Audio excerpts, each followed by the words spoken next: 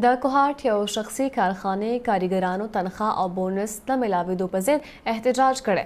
مظاهرچیانو وینا ده چې وړوکي اختر ته په شمېر یو څو ورځې پاتې دي، خو د کارخانې مالکان دوی ته خپل حق ورکولو کې د لم لټ نه کار اخلي. بلخوا ورکرز ویلفیر بورډ هم دوی د پایه ویستلي دي. تفصیل طاهر رشید په دې رپورټ کې. د کوهاټ یو شخصي کارخانې لسګونو کاریګرانو معاش نه ملاوېدو په ضد احتجاج پیل کړی. تېره ورځ هم دغه کارګران سړکونو ته راووتل او بای پاس سړک یې ټرېفک پر مخ وتړل. کارګرانو مشرق ټي وي ته وویل چې کوچني اختر ته په شمېر یو څو ورځې پاتې دي، خو د کارخانې چارواکي دوی ته معاش نه ورکوي او د لملېټ نه کار اخلي. دلته په لایلا باندې یقین وکړه چې زموږ واړه واړه بچي قسم دی له لوږې نه مري. اختر روان ده، زه چې کور ته ځم، کور ته ځم او واړه واړه ماشومان راشي، هغه دغه خبره کوي، بابا تا ماله چپل راوړل، چپل زه په څه راوړم؟ بچی مې بیمار ده، دستونه ورته لګېدلي دي، په خدای مې د قسم کړی چې هغه دغسې لاتې ټکی و چې کوم د ما سره د دوايي د علاج پیسې نشته.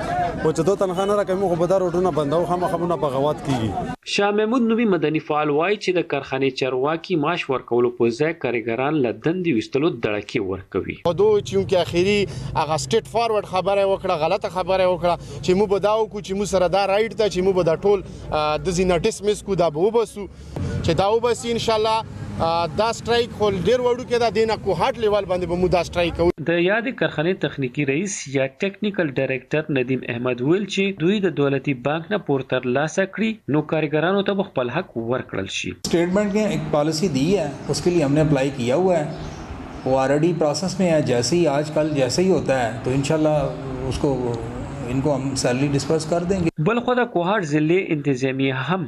کاريګرانو ته باور ورکړئ چې د اختر نه مخکې به دوی ته معاش ورکړل شي چې لا وروسته يې کاريګرانو خپل احتجاج وځنډوه طاهر رشيد، مشريک ټي وي، کوهاټ.